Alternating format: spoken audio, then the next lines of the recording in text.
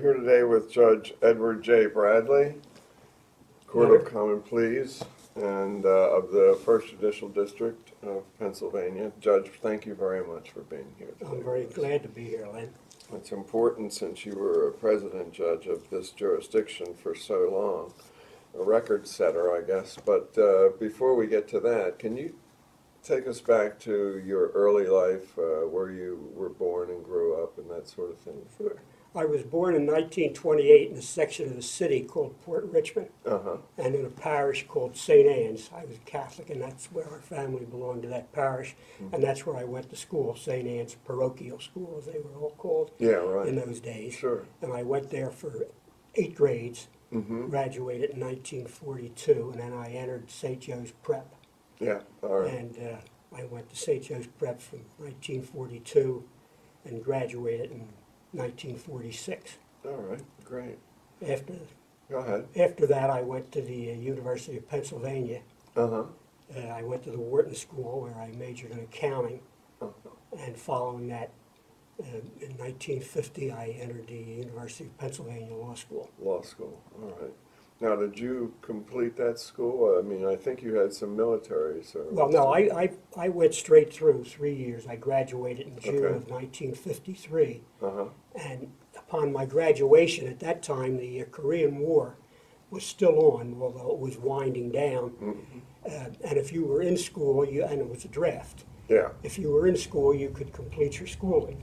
I But see. when you did, Right. you became subject to the draft. Right, And I and many of my classmates who, ha- who hadn't already served in World War II, Yeah. some had, but those that hadn't were subject to the draft, Mhm. and, and I was. Uh, So uh, I was able to take an examination and get admitted to the Officer Candidate School oh, of the good, Navy. yeah, And uh, I was actually called up to active duty later that year, about November. uh-huh, And I went to the Officer Candidate School, which was in Newport, Rhode Island. okay, And uh, that was about a four-month course. And in early 1954, I was commissioned as an ensign oh, and assigned to a ship. oh, yeah, And okay, That's where I was stationed for the course of my three years, three and a half years in the Navy, oh, no kidding, that's great, working on a ship, on a ship, yes. yeah. Um, and then, uh, following your, your service, uh, uh, to the Navy, then what happened? Did you get married right away? Well, I was mar, I got married while I was in the Navy in I see. 1955. Uh-huh, And interestingly, uh, our ship had mostly gone into the uh, Caribbean. That's where we sailed. It was nice, Okay. that was nice duty. yeah, But I was married in November of 1955, Uh-huh. and two months after that, we were sent over to the uh, Mediterranean.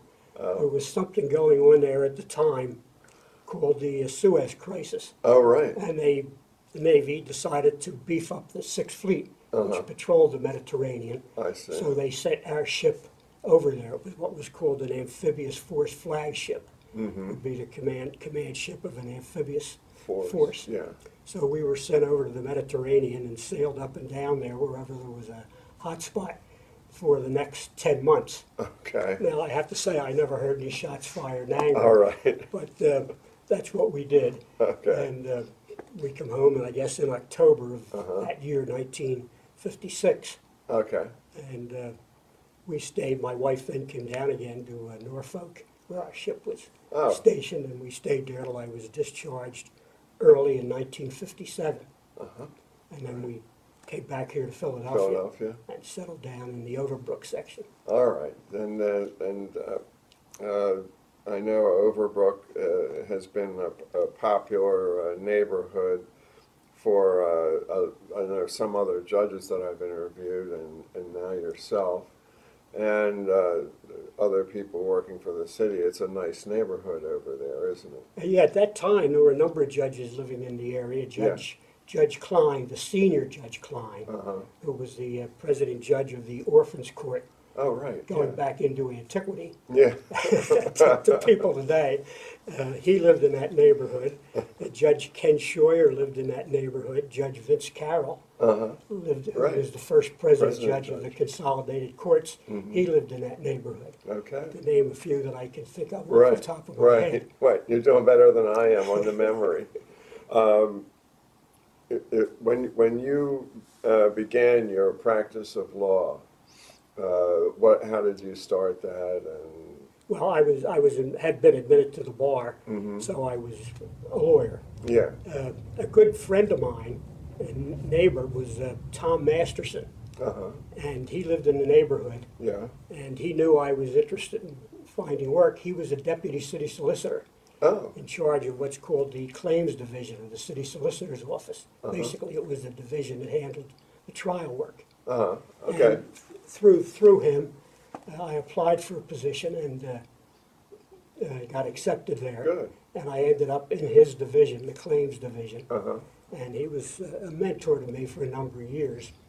And that's where I got some, my first trial experience. I see. And these would be cases where the city was being sued. City, yeah, basically, the city was being sued very often because people fell in potholes in the street. Oh, right. It was said to be the city's responsibility to have fixed that pothole. Okay. Or even if it was a sidewalk, the city was secondarily liable to the homeowner. Oh, right. Okay. And if the homeowner couldn't pay, the city would have to pay that verdict. Oh, So I we handled those. Uh, There were automobile accidents that various city vehicles Oh, right. might get involved in from Yeah. time to time. Yeah. We would handle them. I never thought of And there that. were, there was other types of litigation, but that was the staple of it, I, Yeah. I think you might say. Now, um, you mentioned Mr. Masterson, but um, were there any other personalities, pardon me, in the practice of law here or, or nationally, or any judges who you might have looked up to or tried to emulate or thought of as, as Well, I'd like to say first off, my brother, who was eight years older than me, uh-huh. he went to Penn Law School. Oh, He okay. entered, he entered in 1941, but his education there was interrupted by World War II, Right. he, where he served in the Navy. And then when he came back, he graduated from the law school in 1947, Okay. and he graduated first in his class. He was editor in chief of the Law Review. Yeah. And I always used to say that he forgot more law than I ever, I ever knew. Yeah. So he was somebody that was a, Yeah. and a matter of fact, he started teaching at the law school the year Oh. I uh-huh. started as a student. And did you get any Well, I. I would have been in, first year, I would have been in his class because they were divided alphabetically and he had the A to M section, but they moved me into the other section, so I wouldn't be taught by my brother in my first year. okay. Okay. But in third year, he was the only one teaching estate tax, and I took estate tax. I don't know Oh, whether it was a required course, but it was a course that I opted to take, so he was my professor. Now, they had something called the anonymous marking system. Yeah. Uh, you would put a number on your paper, so when the professor marked it, he would not know whose paper he was marking. Yeah. And uh, so he wouldn't be in any way swayed by classroom performance or Yeah. any either favoritism or antagonism developed in class. He wouldn't know whose paper it was. And the front office would then supply the name Yeah. paper. Yeah. And they even had a secretary copy my paper over in longhand so he wouldn't recognize Recognize my you. handwriting. Well, it happened, I got my lowest mark in law school from- him. To which he said, no wonder you always used to cut my class. But, uh, so in any event, he was, he was one of my Okay. people that I looked up to Yeah. as a lawyer. That's great. And uh, Tom Masterson, as I've indicated, was Right. another one. Yeah. And Tom's father, James Masterson, Yeah. was at that time considered, quite, quite properly too, one of the top trial lawyers in the city of Philadelphia. Oh, okay. And at some point, Tom asked me, because even if you were in the city solicitor's office, you could still have a private practice. Now, Okay. you had to put your hours in, in the city solicitor's Right. office, a regular workday, nine to five. Yeah. But you could go to that office earlier or later Uh-huh. and handle matters. And he Right. asked me to come over there, Mm-hmm. which I did. Good. So his father was a, was a mentor to me and Yeah. someone that I watched trying cases Uh-huh. and assisted to some extent. That's great. That's So they really were- something. They were some of the early ones that I, uh, Also, it sounds like you might have been pretty busy around that time, working nine to five, and then also Yes. some. Yeah. Well, um, how did you end up becoming a judge? Was that well, I was in the city solicitor's office right? from 1957 when I got out of the Navy uh, until I became a judge. And as I said, I was also doing some work on the side in uh, Jim Masterson's office. I Yeah. eventually became a deputy city solicitor, which meant I was in charge of a division with a number of assistants under me. Uh-huh, And we handled all of the eminent domain work all right, uh, for the city, that division. It was called the counseling division because amongst other things, we wrote all of the city solicitor's opinions, oh. or at least okay. drafted them. The city solicitor himself might sign the Right. most formal and important of those, Uh-huh, but uh, we drafted all of those. wow, Did the eminent domain work and all the bond and contract work, Yeah. legal work of the city. So um, I, I had quite a varied, as I said before that, I was in the litigation division. yeah, So I had that experience too. Well, in 1965, for the first time in, well, in 1964, three judges had been added to the Common Pleas Court. uh-huh, And in those days, and many people, even lawyers today, may not remember it, in Philadelphia, you had seven, up until 1964, you had seven Common Pleas Courts, numbers one through seven. uh-huh, Each one had three judges, a president judge and two other judges. oh, okay, And they, each one operated independently Separately, as its own little fiefdom. Okay, And then, in, and that had been so f- time out of mind. right, And then in 1964, CP, Common Pleas Number Eight, was created. uh-huh, And that meant there were 24 Common Pleas judges. And then in 1965, it was agreed that there would be two more, Common Pleas Nine, okay, Common Pleas 10. Now, Philadelphia at that point politically was Democratic, yeah, but the governor was Bill Scranton, yeah, the elder Bill Scranton. He had- Right. had a son who I, I might have been later been governor, but he was in politics. But this Right. was Bill Scranton Senior, senior, right, and he was a Republican. so it was agreed that uh, CP9 would be, you might say, the Republican court. I got you, CP10 would be the Democratic court. Uh, And then, when they would be appointed, it was agreed that they, all six would have to run for election in November that year, okay, and that Of the the same parties year. would cross-support them, I see, because judges could cross-file right, and run on both tickets. yeah, And it was agreed that those six would be supported by both parties. all right, Uh, And the governor said that he would accept recommendations from the party chairman, Uh-huh. quite frankly, but he also imposed a condition that the Bar Association, the Philadelphia Bar Association, Right. had to approve anybody that was submitted. good, And if they didn't Okay. approve them, he wouldn't appoint them. mm-hmm, And so the Bar Association knew, and they had the bit in their teeth, and they really went to work. yeah, And there were any number of people who, uh, and they had a very rigorous uh, selection And they process. still You had to- do. And they do now, but this, this was the, the model of it. yes, You had to submit a about twenty-page questionnaire outlining your whole legal career, a lot of other things. And then you had an interview uh-huh, by the committee, it was called the Judiciary Committee of the Bar Association. And then they voted whether they would recommend you to the governor or not. yeah, And there were a number of people whose names had initially been put forward yeah, who were not recommended, not recommended. and didn't make it.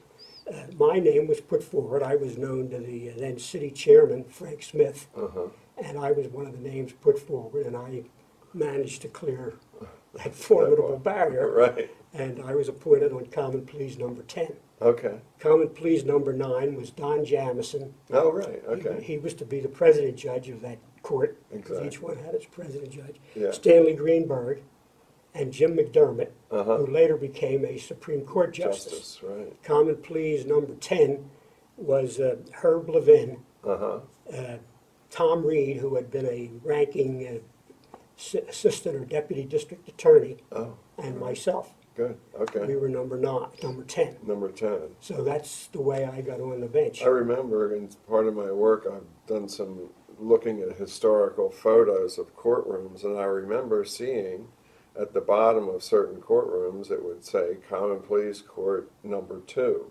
or Common Pleas Court Number Three, or whatever, and I didn't, never quite understood that until you explained it Right. just now. So that's, and each one had its own. Now, that was the problem, of course, because nobody was keeping track of the overall, Overall, picture. right. What's happening to the backlog?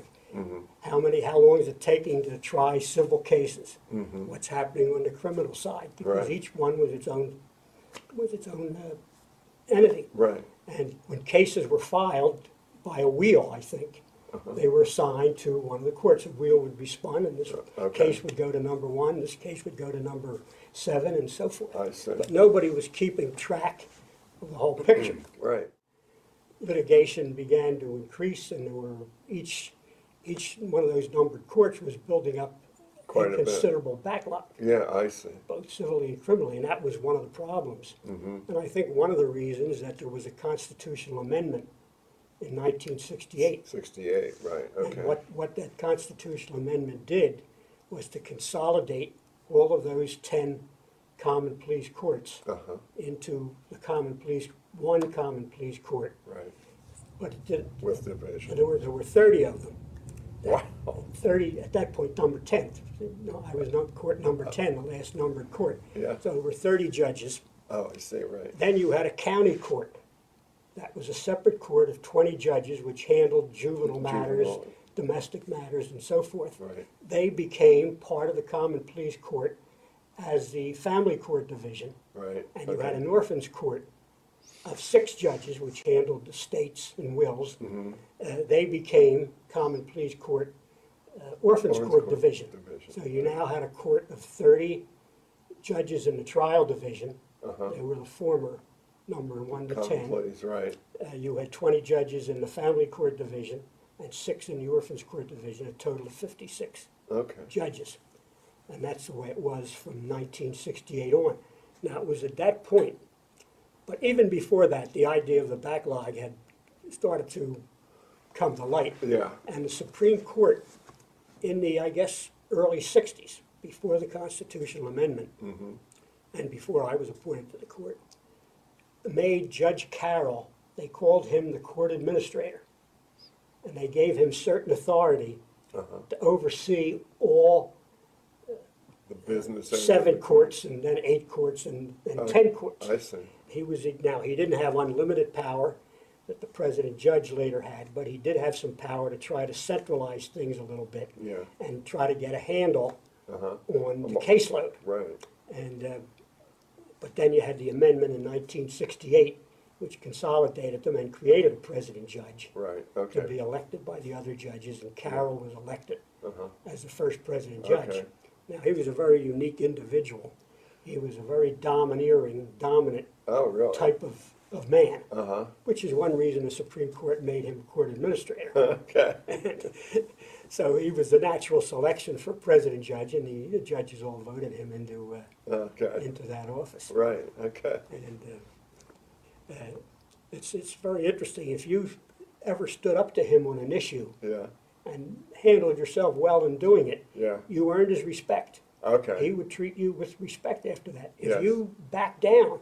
And let him roll over you, whatever it was he wanted to do, forget about it, you would be his doormat yeah, from then on. okay. So it was important to do that. Well, It's just, it's good to know too, I mean, uh, but if, and I, I think that's usually the way to deal with certain domineering Mhm. people, you know. You have to, uh, let yourself be known and Yeah, well, I, I, and I had occasion to do that. I won't go into the reason. It's, Okay. it's a long story. Yeah, Some things I don't want to discuss. all right, But I had occasion to stand up to him in Yeah. a very direct way yeah, when I hadn't been on the bench more than a couple of years. yeah. And uh, he respected me after Well, that. I'll tell you what, I've never thought of you as being a very shy person, to tell you the truth. No, I don't think I was shy. No, but uh, then eventually, after all the courts are consolidated, you're a judge for how long before you were, Well, I, I say I was appointed in 1965 Right. and then elected, as I've indicated. We had a Same stand year. election that November. We Yeah. were appointed in August. And that was a 10-year term. And after that, after the first 10-year term, where you had to run on a party label, or in the case of a judge, you could cross-file. Right. But you still had to run on a party, on a label, Right. Democrat, Republican, on both tickets. Okay. Once you were elected for 10 years, Yeah, the next time you ran, it was for retention. right, And you didn't run on a party label, you ran on a separate space on the ballot. Uh-huh. Shall the following judges be Be retained for a retained. ten-year term? And they were listed in Strictly order. yes, no. And yes or no. yeah, And that's how, that's how it went. Well, I was elected in sixty-five and due to be, uh, stand for retention in seventy-five. Uh-huh, But, uh, as I say, Judge Carroll was the initial president judge. uh-huh, He became ill after a couple of years. I'm not quite sure how many, how long it was, but he became ill and he stepped down I as see. president judge and he died shortly thereafter. Ah. But an election was held for his successor in, I suppose, the early seventies, maybe nineteen seventy, I'm not sure when. But Don Jamieson, Right, who went on the bench with me, but he was president judge of the original Common Pleas Number Nine, he became the president judge. okay, And uh, he served in that capacity until 19, April of 1975. Now, the, there, there's politics involved, Sure. of course. And for years, the city had been Republican Mm-hmm. up until 1950 or 51. yeah, The city had been for Republican forty years or so, right? the city had been Republican. And um, so the judges were all from the Republican persuasion, you might mm-hmm. say, which is why Carroll was elected. He was a mm-hmm. Republican. And even why Jamieson was elected. Because the majority of the judges, it was 19, were still Yeah. Republican. But in 1971, 25 new judges were appointed for Philadelphia, Common Pleas Court judges, Okay, bringing our complement up to 81. it's a huge number of And, judges. to be yes, and appointed. the, the governor at that time was Milton Shapp, a mm-hmm. Democrat.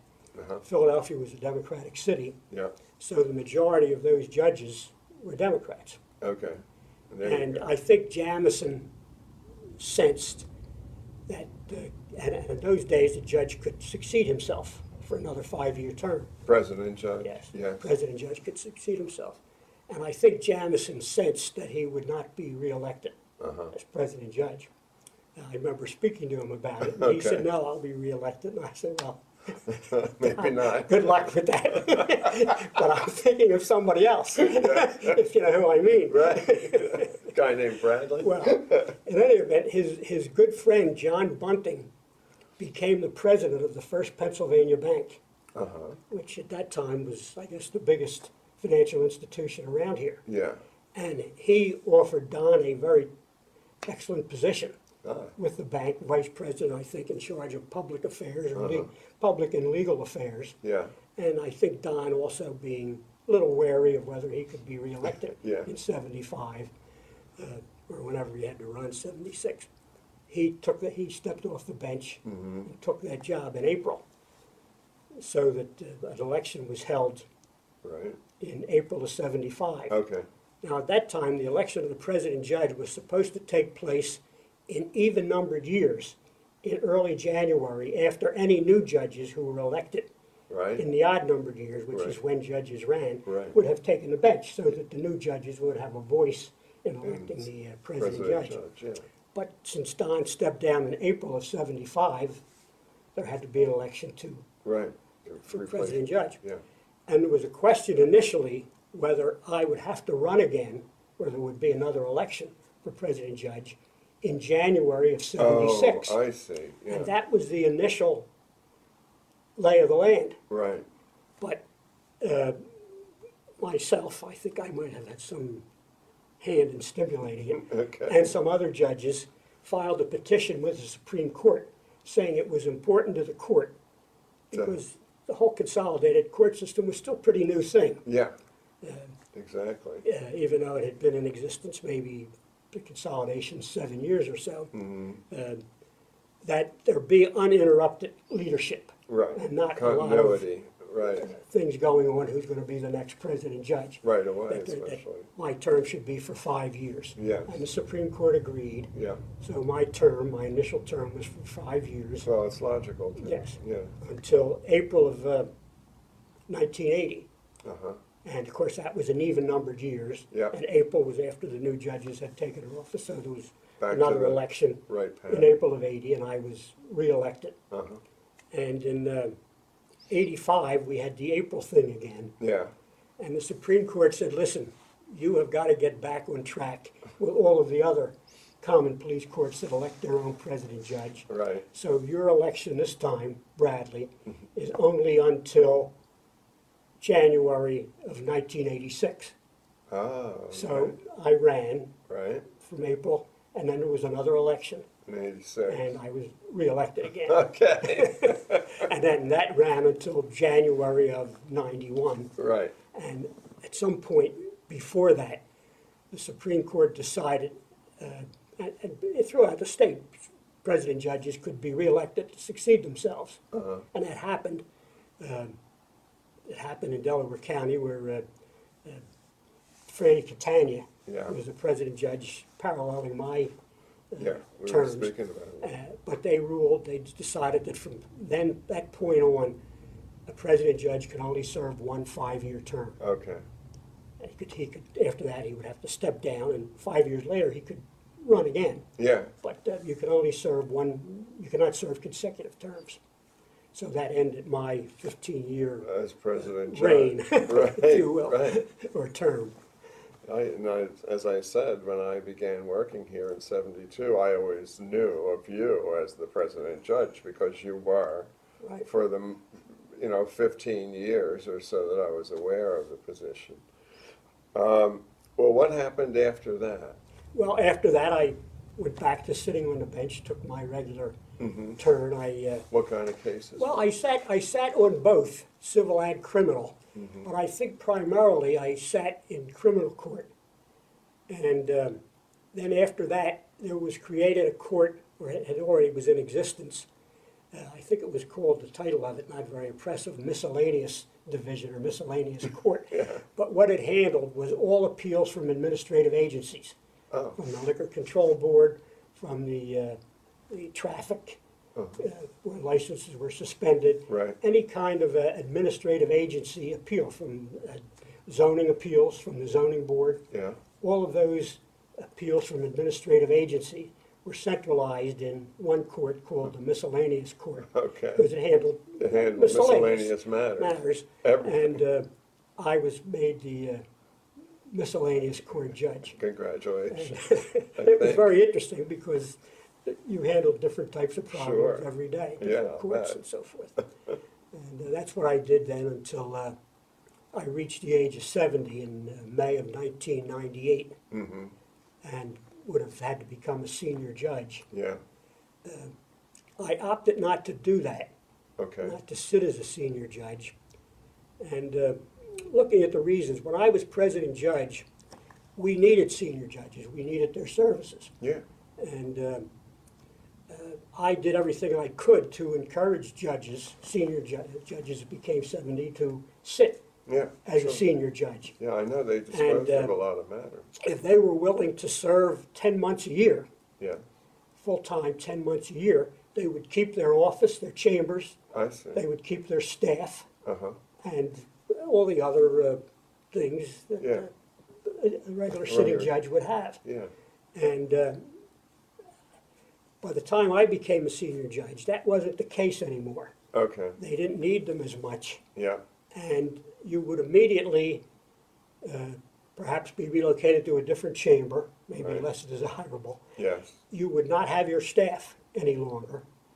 Uh, You would have a, uh, draw from a pool. You would not have yeah. secretarial pool, you would not have your own law clerk, you would not have your own personal court officer, which every judge had at Yeah. that point. Right, Um, And I didn't care for that very much, okay, and I opted not to sit as a senior, uh, senior judge. I Yeah. didn't think that uh, they were accorded the, uh, proper uh, respect.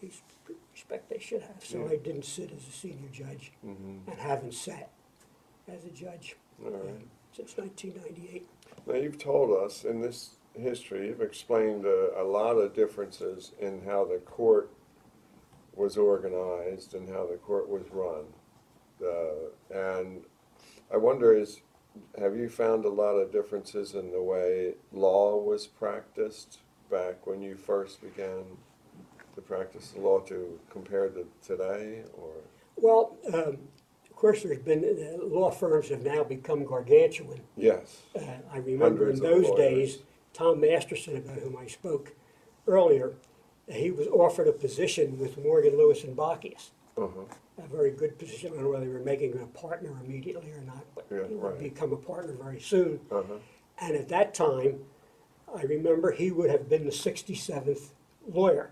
with Morgan Lewis Bockius. Okay. And I remember somebody, maybe I said to him when it hit seventy, sell.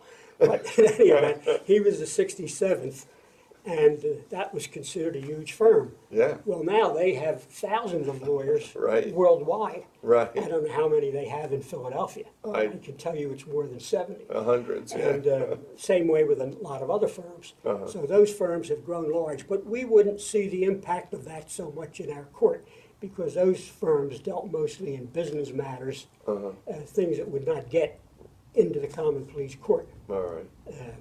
So I don't know that I can say I've seen a difference in the uh, practice of the law. Mm-hmm. Uh, You always have the feeling, and it may be nostalgia, that uh, things were a little more collegial Yeah. in those days. Lawyers were closer to each other, uh, knew each other, and so forth. Um, Whether that's, just as I say, nostalgia, or whether it's a fact or not, but that's a feeling I have, and I suppose most other lawyers of my vintage might, might have that feeling. The others have expressed uh, similar Yeah. feelings, yeah. But other than that, I haven't noticed differences in the, up until ninety-eight at least, I hadn't noticed differences in the way law is practiced and cases are heard. Now, there are all kinds of administrative uh, things that are done. Sure, We, we instituted some of them ourselves in, during my day. We Yeah. instituted the individual judge calendar program in civil cases okay, to give judges who were assigned to civil cases their own individual calendar, which they became responsible for Uh-huh. from beginning to end. all right. Uh, So we instituted that, and something like that may be carried on today, I don't know. Yeah, Uh, We, we, we instituted a number of other uh, reforms which are still in existence. For example, uh, when I first went on the bench and until I became president judge, jurors were called for a three-week period of service. Really? Yes, and they might never sit on a case. Yeah, They'll be called, they would be challenged for one reason or another, they'd go back to the jury assembly room, and so, so it went. Yeah. But you had to serve, it was initially three, and then I think they might have reduced it to two. Of course, if you were in a case, you stayed for as long as the case. right, But certain jurors were just not going to be picked as jurors for whatever the reason might be. yeah, Lawyers would sense something. okay, And um, so I instituted, or with, with the help of a lot of others on the court, something called the one-day, one, ju- one trial Right. system of jury service. okay, That was put in while I was president judge. So you were called for jury duty. If you were not selected as a juror, that was it, you went home. good, If you were, you served for the balance of that case right, that you were picked for, then you went home. yeah. And so that's, that was a Big big thing. improvement, I'll bet, And we to were, uh, public. we were one of the early courts to adopt it, Uh-huh, but there were others that had done it. I think it's And we become were the, we were the first one that did it without any federal grant money Uh-huh, or without any increase of money from the city. all We, right, we did it with our existing Yeah. resources and put it into effect. that's great, And it was a, it was a big thing. sure, Um, and Another thing that, uh, that we did was uh, establish an arbitration center. Up until we did that, lawyers would hear the arbitration cases in their own office. Okay, So there was a, a lot of difference yes, whose office you went to. But- right, So we established an arbitration center, and the lawyers who were the arbitrators came to the center To and would sit and hear three cases. yeah. And uh, Now, that's still thriving And today. that still does, yeah. Yes. We, we did that now, and I also, we, we pushed to raise the limit of arbitration to twenty thousand dollars. It had Okay. been about five, I think. Uh, Today it might be fifty, I'm not sure. I think. I think it is fifty. Yes, But we, we got it raised to twenty. So that was a, that was another thing that, uh, that we did. Um, We, we uh, increased computerization too. Now, that had started under Don Uh-huh. Jamieson. Jamieson, Um, But we really pushed it. We, we, I brought on board, or he might have brought on board, I'm not sure. Uh, But uh, his name was Bill Fisher, and he was. a Yeah, com- I remember He was a Bill. computer whiz, yeah, and he was instrumental in computerizing the, uh, the court system.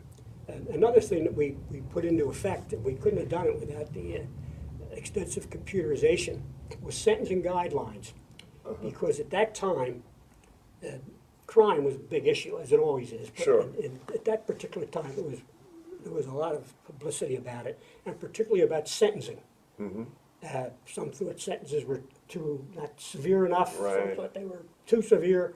And also that there was disparity. If you got in front of Judge A, you would get this sentence, five to ten years. In the same type of case in front of Judge B, you might get one to two years. Yeah. So there All right. was, that was a problem. Uh, now, I could not impose sentencing guidelines. I didn't have the authority No, to do that. but, But what I did was we studied through the computers the way judges were actually sentencing. And we didn't just take robbery, because there can be all kinds of robberies. right, Uh, could be a purse snatch, which would be the, the least offensive type of robbery, you Yeah. might say, where there could be at gunpoint, there Yeah. could be physical injury done to the person. right, The same way with almost any crime you can think of. And also, there were differences in defendants. sure, Somebody had no record, somebody had a record as long as your arm, yeah, uh, somebody had a job to go to, somebody didn't. We classified, we were able to extract all those factors and set up various categories of cases under each crime heading.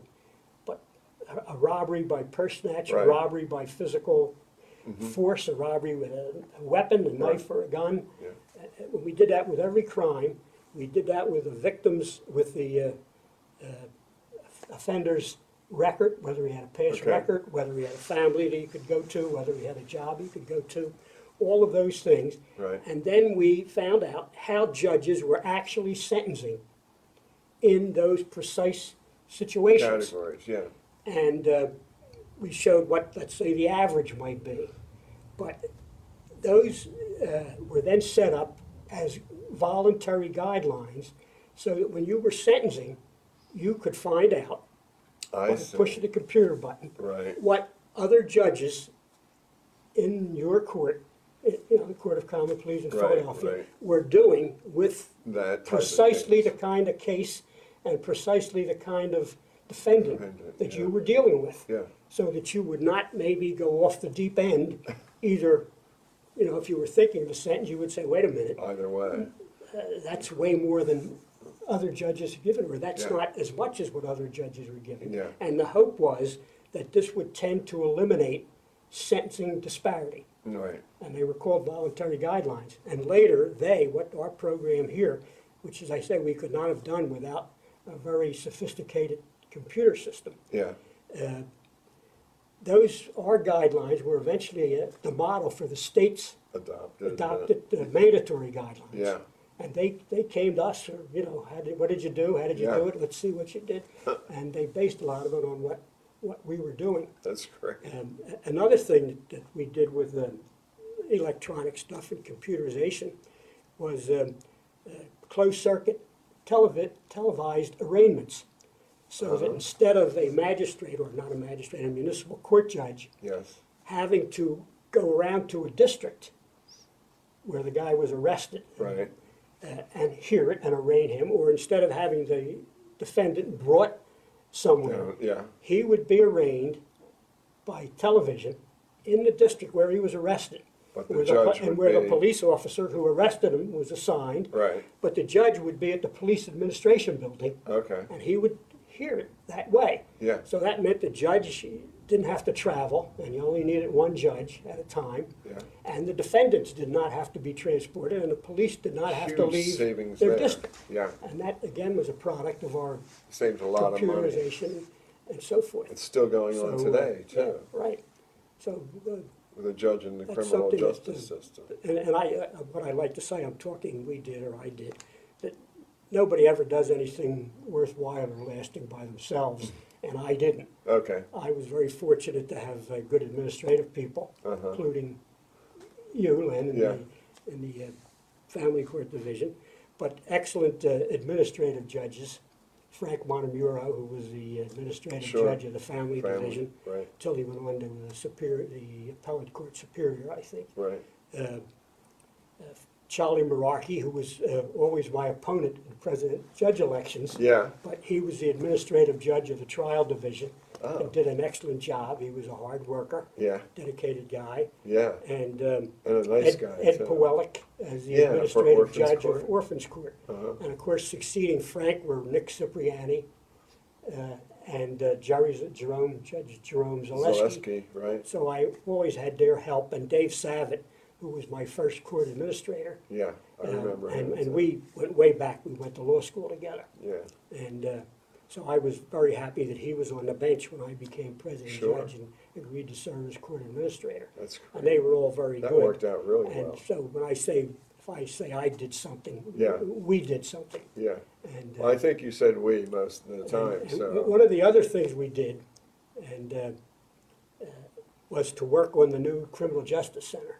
Uh-huh. And uh, uh, I, I always used to say back in those days that uh, uh, building a courthouse was no sport for the uh, short-winded or the faint of heart. Right.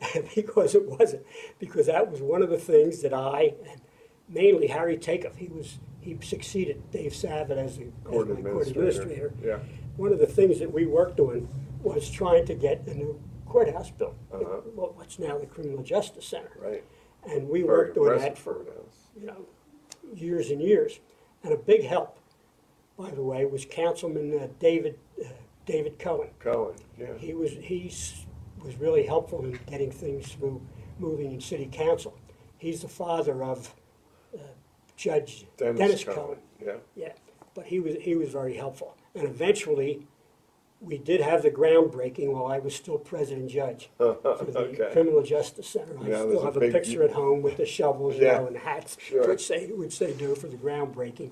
The court, the building wasn't actually completed until after I was no longer president judge. Right. But since we had the groundbreaking, I and my team Yeah. take some credit for that. You that. were there. Sure you can, yeah. So, uh, Took a lot to did move that. up to that point and, of uh, gra- and we did, the- as I mentioned, the backlogs in criminal and civil cases in the eighties, we reduced the, uh, the civil case backlog by about uh, twenty percent, and the criminal case backlog by, by more than that, twenty-five to Mhm. thirty percent. And there was, there was a study done under the aegis of the United States Justice Department Oh, yeah. and the, uh, the, uh, the Center for, um, National National Center. Center for State Courts. Right. Uh, Under their aegis, they did a study of, I guess, various courts throughout the, the country. And um, they compared us with Allegheny County, which included Pittsburgh, which was Right. the only county in Pennsylvania comparable to us. Yeah. And with San Diego, California, Okay. which was comparable in size and was considered a well-run court system. Yeah. And as it turned out, we ran things at less of a cost per case than either of those counties, and with slightly less staffing levels. Huh. And our judges' caseloads were twenty-five to thirty percent higher Higher. than either of those jurisdictions. Yeah. So, uh, And eventually the National Center called the civil yeah, trial court the best in the nation. more recently, yes, Yes. yeah. So, uh, those are some things that, uh, we did. I think, you- I think you and your partners, your colleagues did a great job. And as I say, we were, a lot of it was breaking new ground. Sure. And, and Don Jamieson did a lot of that. Yeah. Uh, Carroll had to pull everything together. Right. And he was probably At the the right guy at the time To do that. to that. do that because he was very, as I said, domineering, Yeah. dictatorial type of guy. But uh, in those days, some of those judges, I can remember when I went on the bench, hadn't been consolidated yet, but Carroll was called the court administrator Yeah. and was running things. And one of the judges says, I don't know, I've been sitting in the same, this was a judge who was already over 70. In those Yeah. days, you didn't have to retire at 70. I've been sitting in the same courtroom for 30 years, and then Carroll changes me to. I thought, what's wrong with that? You know. but that's was a built-in mentality for Right, all at those that years time, of those yeah. courts being their own Right. separate uh, Sure. empire. Yeah, you got and the, so Carroll once was you the got right there, you guy. could stay there for Carroll 30 was the years. right guy initially to Yeah. bang some heads and pull it together. and Don did a did a good job in a lot of the groundbreaking stuff. And I- and I have we were to still say- dealing with groundbreaking Sure. matters. Yeah. At that for most of my, not for all of my 15 years, but for a Yeah. lot of it. I agree. A lot of it. I was, um, and I want to say thank you very much, Judge, for coming here today.